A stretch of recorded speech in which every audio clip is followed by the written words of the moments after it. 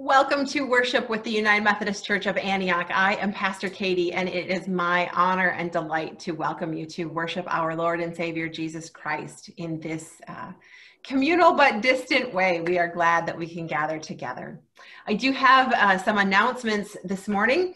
So uh, we want to thank everyone who helped to make our pads collection a success last week. We are grateful for, for those who participated. And if you missed it and you're like, oh, I forgot, don't worry, you will have an opportunity to help again next month. We will be doing a monthly pads collection. Uh, so just watch for, for the, more information coming that way. Uh, this morning, um, October 4th, uh, we want to remind you that there will be a drive-through communion opportunity from 10 to 10.30.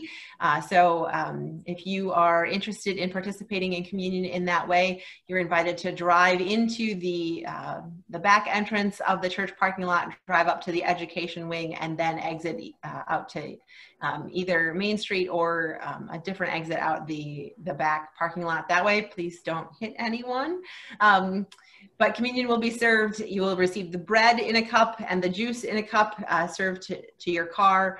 Um, so please bring everyone who will be uh, participating in the sacrament with you uh, because those cups have no lids those cups that we have, have used in the sanctuary many times over. So I just wanted to make, uh, make you aware of that.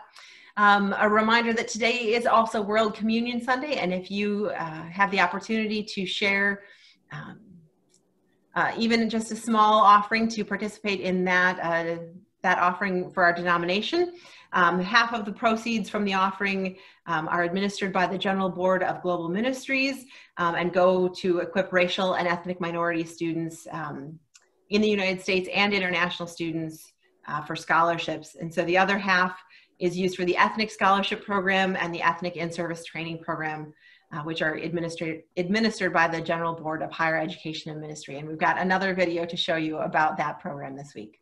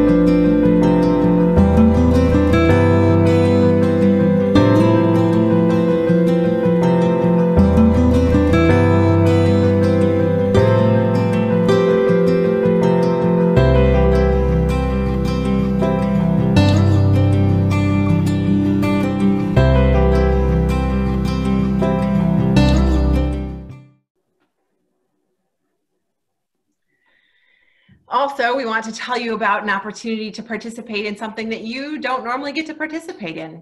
Uh, last year at annual conference, it was approved uh, that our conference would have three strategic goals, and those would be growing and reaching new disciples for Jesus Christ, living out the conviction that racism is incompatible with Christian teaching, and increasing the number of highly vital congregations.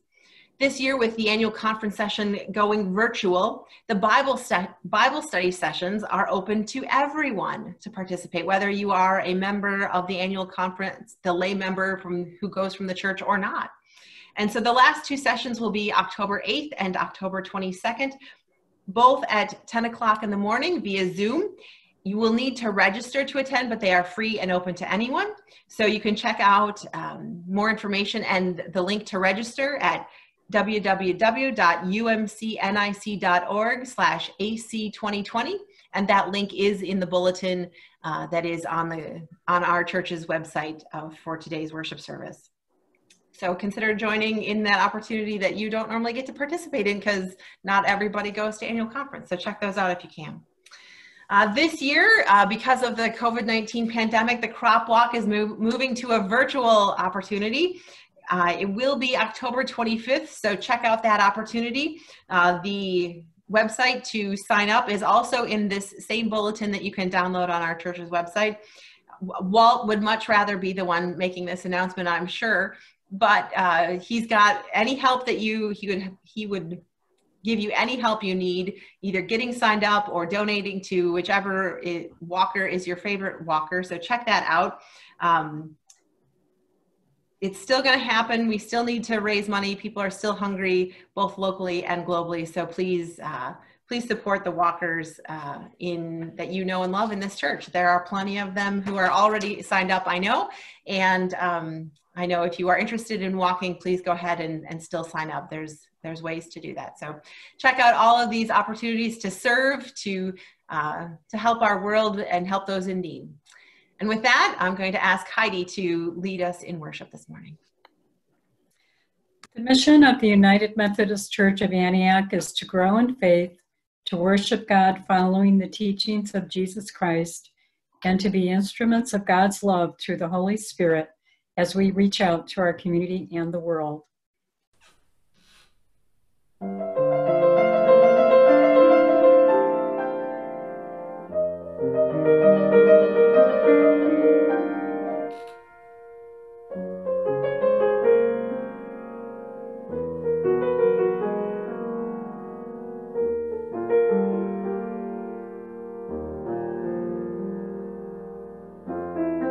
Opening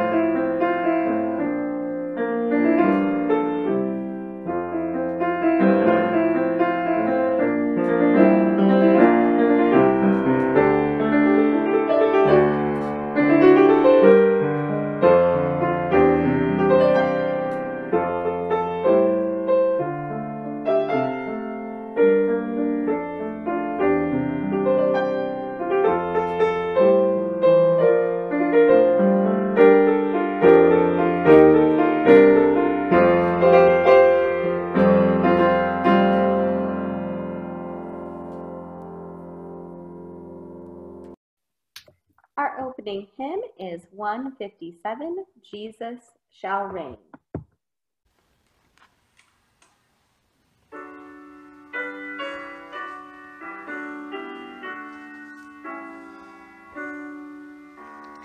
Jesus shall reign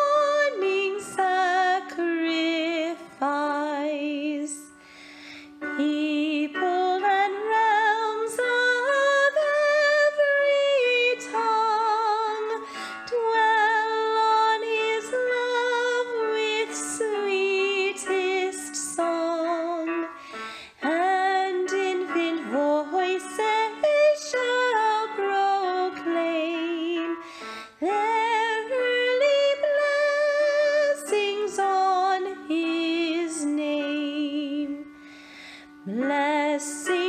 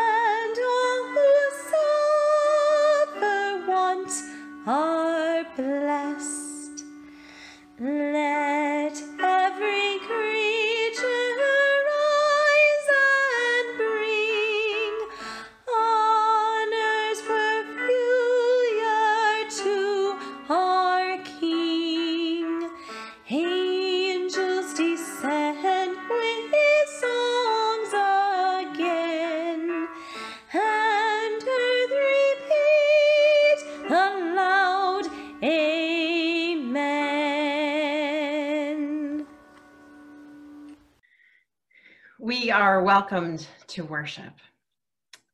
We come to worship the God who calls us forward to the future. But we like the past. Nos- Nostalgia can give us warm, fuzzy feelings that may, make us think the past is the best place to be. The Holy Spirit is always moving us forward. We don't even get to stand still. What if we need to rest? What if sitting down would be best for our spirit right now? Jesus took some time away to pray, so yes, there is absolutely space for that. But when we are rested, it is time to get up and move forward. Okay, then, with God's guidance, Jesus' power, and the presence of the Holy Spirit, we will go where we are directed. Let us pray. Coming together to hear and learn from your word keeps us looking forward, Lord. As we try to put this last week behind us, there is so much we want to overthink. Things went wrong, people hurt us, we hurt others. We need to ask them for forgiveness. You know you were there. Use this time of worship to help us focus on you and how you would have us move forward from all of these things instead of have them hinder us. And now, O oh God, hear us as we pray as Jesus taught us. Our Father, who art in heaven, hallowed be thy name. Thy kingdom come, thy will be done on earth as it is in heaven. Give us this day our daily bread, and forgive us our trespasses, as we forgive those who trespass against us. And lead us not into temptation, but deliver us from evil. For thine is the kingdom, and the power, and the glory forever. Amen. Hi, everybody. It's great to see you again this week. Hope you've been doing well. So, say you're going to go on a trip. What are some things you might pack? Hmm. Well, let's see here. So, you might want to pack some shoes, right? In case you're to do some walking, right? And maybe, you know, you don't want to have bad breath, so you're going to brush a toothbrush. That sounds good. And I don't know, maybe you want to bring um, a stuffed llama because you never know. Never know, really. You never know, right? So bring stuffed llama. What about some other things you don't think about too often? What are some other things we can pack? Maybe not when we're just going on a long trip. Maybe when we're just going out the door for every day. What are some things we might put in our, our backpack, huh? Maybe like things like kindness. That's a good thing. I'd pack that. How about some courage? That's a good one. Doesn't take too much space, right? Oh, here's another good one. How about you put this in your backpack? How about some trust? I think those are three good things you can put in your backpack, right? What are those things exactly? So kindness, right? We know that what that means. That means you're going to be friendly and helpful giving to others you know you're not really expecting anything in return you're just you're just being kind that's a wonderful thing to keep in your backpack ooh what about this one courage that's a neat word i like it a lot this one's this one can be hard courage means to have the strength to do something even when it makes you super scared that can be kind of hard but it's a good thing to pack with you well, and this is another one that's kind of hard sometimes to understand, but trust. What is trust? You trust people. I bet you have people in your life that you trust. To trust someone means to have faith in them, to know that they will keep their promises to you. It's a wonderful thing to have, and I'm sure you have people in your life that you can trust. So, our story today is the story of Rebecca and Isaac. We're continuing on our story. We had last week we talked about how Sarah and Abraham had, um, God had promised them a child and God fulfilled his promise. And um, Sarah had a son named Isaac. And this story fast forwards many years, um, well, several years, right? So when Isaac becomes an adult, and unfortunately Sarah had passed away, and um, Isaac, it's time for him to find someone uh, to be his partner to get married. And we're going to read about that today and all these qualities that Rebecca had with her. This story Rebecca and Isaac. I'm going to put this up here so you can see it. When Abraham and Sarah's son Isaac grew up, Abraham knew it was time for Isaac to get married. Abraham went to his chief servant. Go to my homeland, Abraham said. Find a wife for my son Isaac. The servant took the camels and traveled a long way to find Abraham's people. After a long journey to Abraham's homeland, the servant stopped by a well and prayed, God, help me find a wife for Isaac. If a woman offers a drink of water to me and to my camels, let her be the one. Just then, a woman named Rebecca came to the well. She offered water to Abraham's servant and to his camels. The servant knew Rebecca would become Isaac's wife. The servant asked Rebecca and her family if she would marry Isaac. They said yes. Rebecca traveled back with Abraham's servant. Soon, Isaac and Rebecca got married, and God blessed them. So that's an interesting story because, you know, most of us don't think about uh, marrying someone we've never met, right? So things like, you know, different cultures that happens, and in biblical times, obviously, it happened in this story. And Rebecca showed a lot of different qualities in this story. One, she was kind. She offered water to Abraham's servant and his camels. That was something he was looking for. Show me the woman who is kind. She showed trust, or courage rather.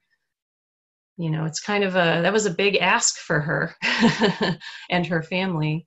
Would you come and marry Isaac? And she said, I will. I'm sure it was scary. That was a scary decision for her to make. But she had trust.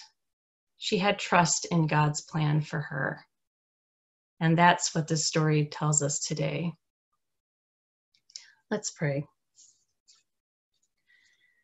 Dear Lord, help us to travel with kindness, courage, and trust in our hearts every day, no matter if we go far or even if we don't leave our house. Help us remember your plan for us and always have trust in you. Amen.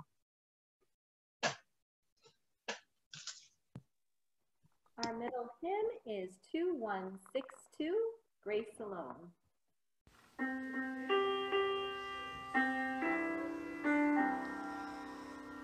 Every promise we can make,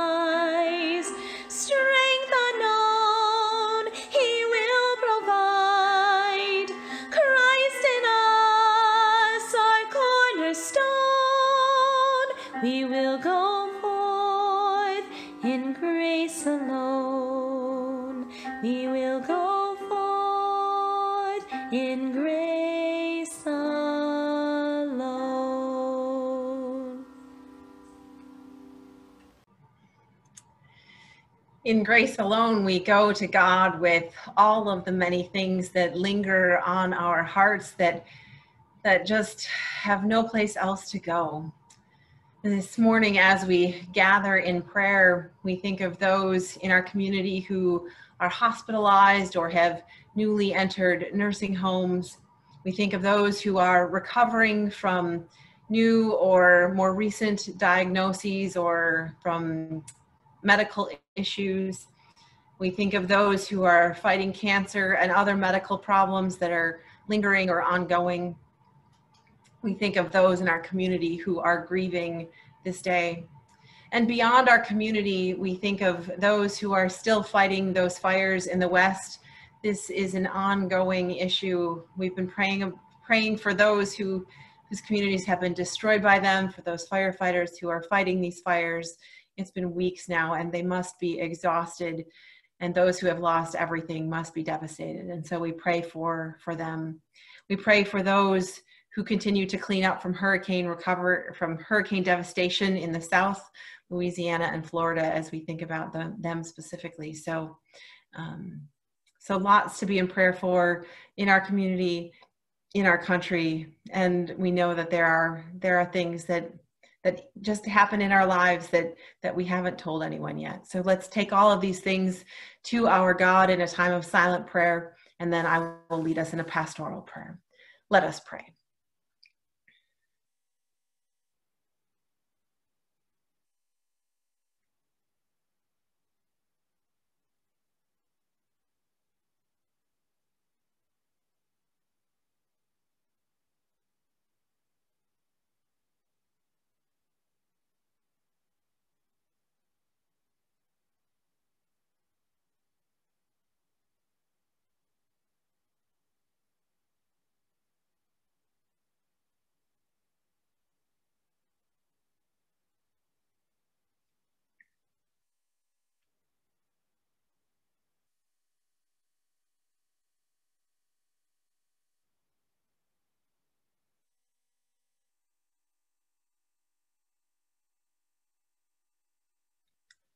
Oh God, who is our way, we celebrate, celebrate that you have given us life to live, even if it isn't the way that we would choose life to be right now. You have cared enough to give us air to breathe and people who love us, and people for us to love. Thank you for creating us in the first place to know love and to know relationships, to experience unconditional love from you and to be able to share that love with others we meet. In Christ, we have experienced that love in unimaginable ways. Help us to share that love with others, especially those we know who are grieving, who are hurting, who are sick, who are feeling hopeless, who are feeling the effects of addiction, who are wondering if they will ever find a job again, who are wondering where their next meal will come from or if there will ever be a stable roof over their heads again, who are wondering if the world will ever see them as real people. You have called us to serve you in ways that are tangible on this earth. And sometimes we get so caught up in collecting for ourselves that we forget that your desire is for us to share. Help us to hear the call directly from you to help those who need it even if it's just to listen and offer support. As we look forward to the future you give us, we really don't know what that looks like. What with climate change, racial disparity, and an upcoming election, there's so much that feels so big right now. It feels like we are on a precipice of something monumental. reassure us with your presence that no matter what happens, you are with us. No matter what happens, your voice calling for justice will be heard. No matter what happens, you still are God. In that truth, we will stand forever, no matter the future. We pray all of these things in the name of Jesus Christ. Amen.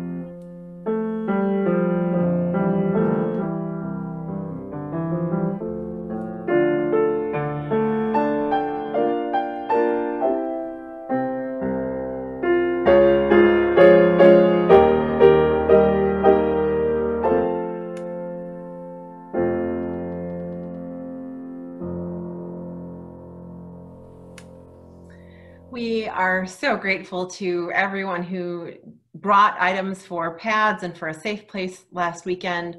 We are grateful for everyone who continues to send an offering uh, for the regular uh, general fund. We're grateful for those who have given a special offering this morning for World Communion Sunday, for those who continue to send a missions offering for for those who give to trustees projects for whatever it is for those who continue to to spend part of their time in prayer for the life of the church for those who show up and and um, help put the the gardens to bed last weekend spent some of their time in service Uh, so much time and money and effort goes into not only making our church happen, but in serving, having our church serve people in the name of Jesus Christ. And so we are grateful for for all of those gifts. And let us now uh, go to God to dedicate those gifts. Let us pray. Oh, Jesus, our rock, we thank you for giving us a firm foundation on which to build our future. Out of our obedience to your call in our lives, we share what you have first given us so that others will experience your grace too. Multiply what we give through financial gifts, through service, through our prayers, through the ways we show up for one another, and through the ways we tell your story so that your kingdom will grow in bountiful ways. In Christ's name we pray. Amen. We ask for understanding. So much of our lives, wonderful counselor, we think we can do it ourselves. Once we learn how to walk and talk, we think we are fine on our own. As we come back to a review of some basic life skills that you give us, we ask that you would guide our hearing and understanding of your word so that we might be better disciples of your world. In Jesus' name we pray. Amen. And today's reading is from Philippians 3, verses 4 through 14. If anyone else has reason to be confident in the flesh, I have more circumcised on the eighth day, a member of the people of Israel, of the tribe of Benjamin, a Hebrew born of Hebrews, as to the law, a Pharisee, as to zeal, a persecutor of the church, as to righteousness under the law, blameless. Yet whatever gains I had, these I have come to regard as loss because of Christ. More than that, I regard everything as loss because of the surpassing value of knowing Christ Jesus, my Lord.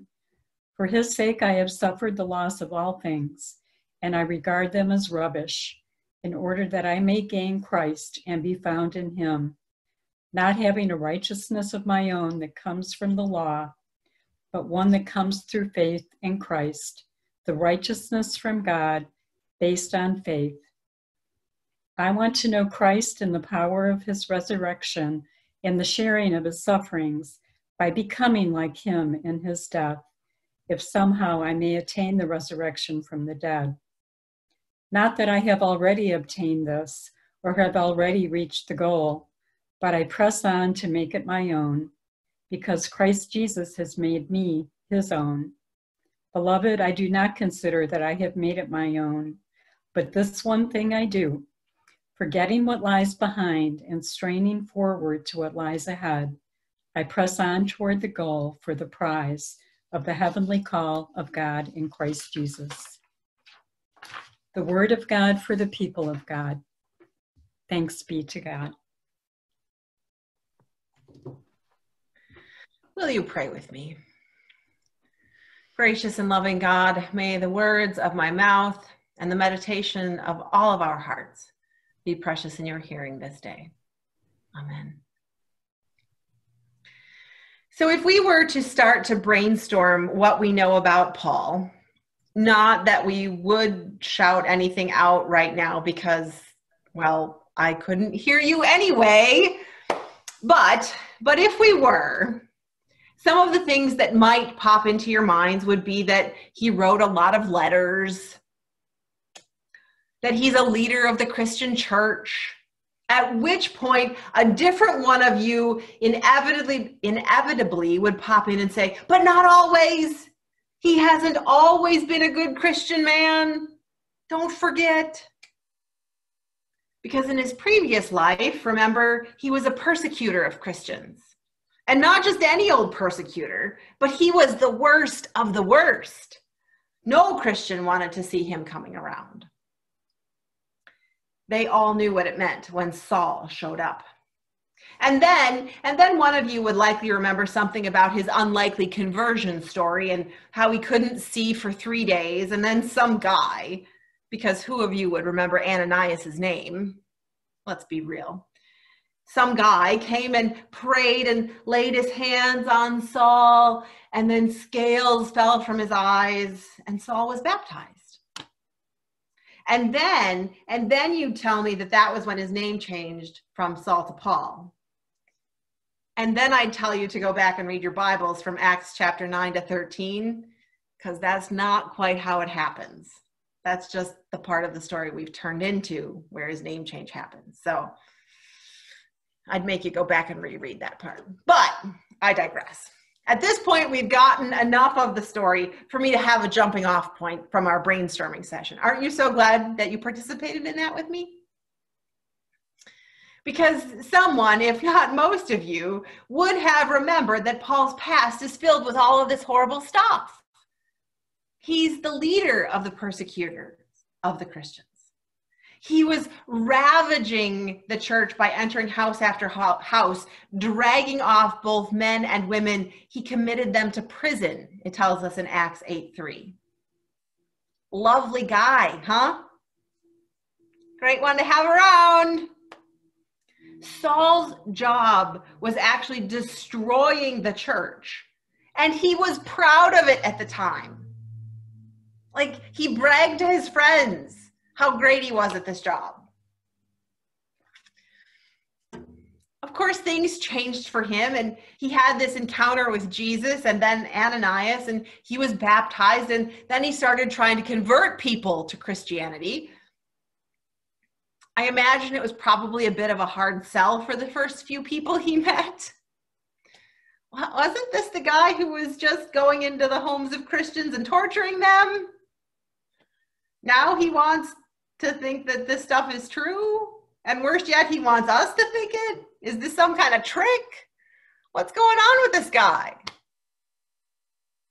But he's able to move on and he's a convincing guy. So people come to believe him about Jesus and the church grows under his leadership. Churches start and they grow because of his encouragement, and people really look to him to understand things that they didn't used to know he recounts some of his credentials in the part of this letter to the Philippians that, that Heidi read for us today. As this particular passage starts out, we hear something that makes us think that Paul might be, well, too big for his britches, as the old saying goes he starts in about what a great disciple he is, like how he's at the top in all of these categories. He was circumcised on the correct day. He was an Israelite. He was part of the tribe of Benjamin. He was a Pharisee, so he was a leader of the Israelites.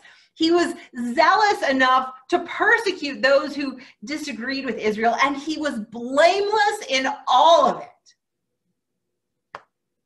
Basically, he's saying that he had all of the right Jewish credentials he had all of the things going for him. All signs pointed to yes for Paul to live as this great leader in the Israelite society of his day. He had it made.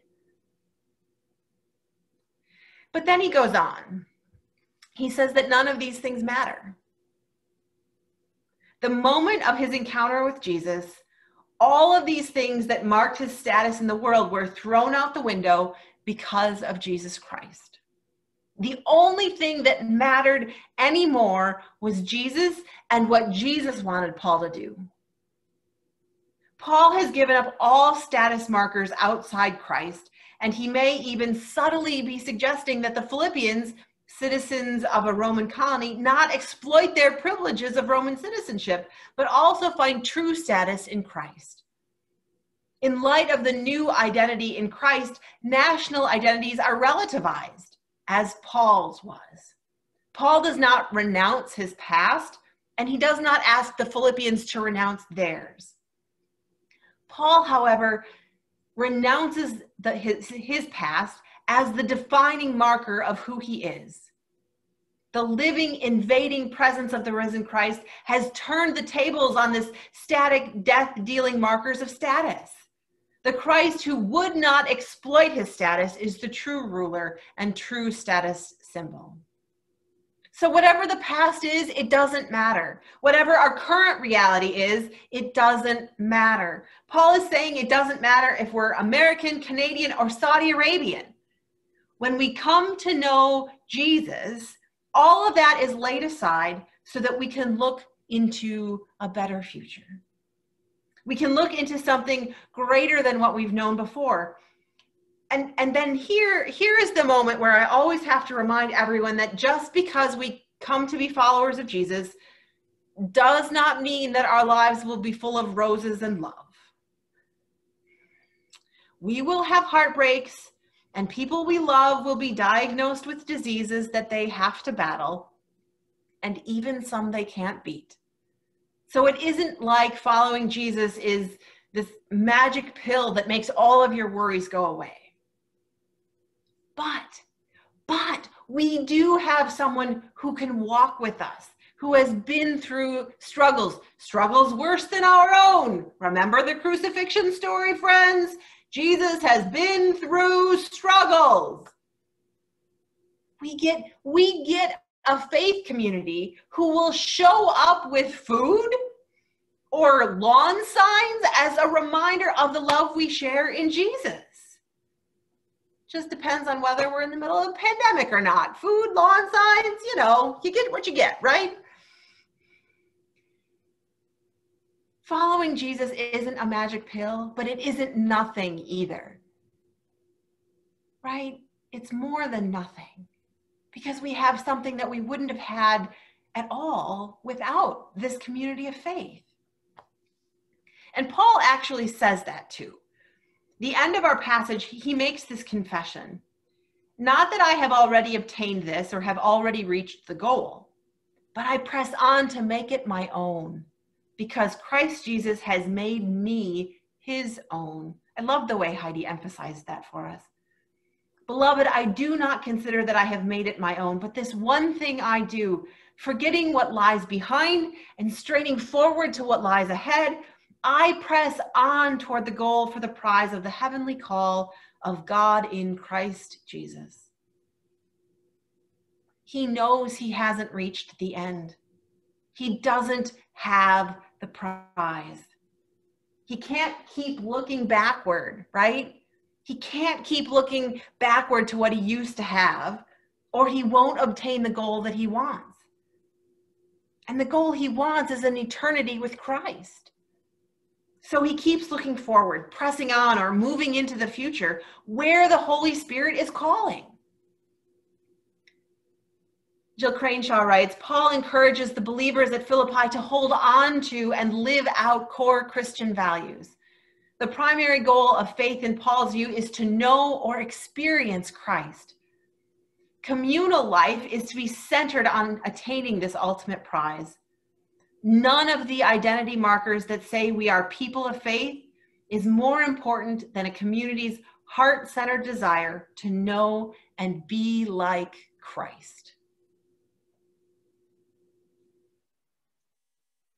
in this current time, friends, it's a challenge. It's a challenge to define what it means to be the United Methodist Church of Antioch. Because all of the old ways are so difficult to maintain, right? Nothing feels quite like it used to. But all this means is that we have a moment to evaluate and decide what it is we want to keep, what it is that we choose to keep moving ahead we can decide what we're missing, what we're lacking, what we need to add in. And then where some reshuffling needs to happen to make sure that our volunteer efforts are deployed in the right places to meet the needs that we see in the world. We have this opportunity in front of us because when we come back, it will all be different. And we can decide how we want that to go. We can hear how God is calling us to move forward. But to do that, we have to keep looking forward. We can't get caught up in the nostalgia of everything was better in the past, even if that past was only six months ago. What we have are the moments in front of us, and we need to make the most of what we have. Working together for the goal of making it our own because Jesus has already made us his own well, that's something worth working toward. So let's look forward into our future together. And let's see what Christ, what Christ has in store for us. And then, my friends, let's go there together. Amen.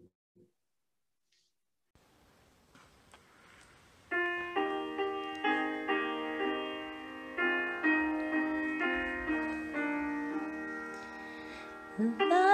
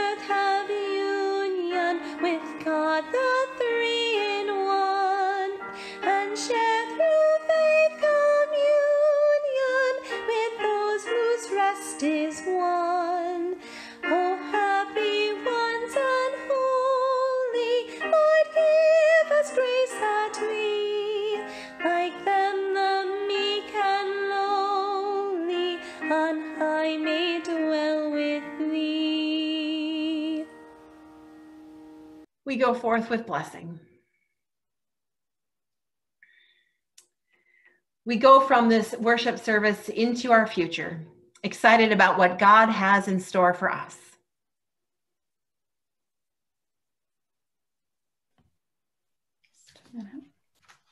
We will keep looking forward, working to make the future into the kingdom of God, leaving behind all that doesn't serve God's purpose. The grace of the Lord Jesus Christ, the love of God, and the communion of the Holy Spirit be with all of you. And also with you. Amen.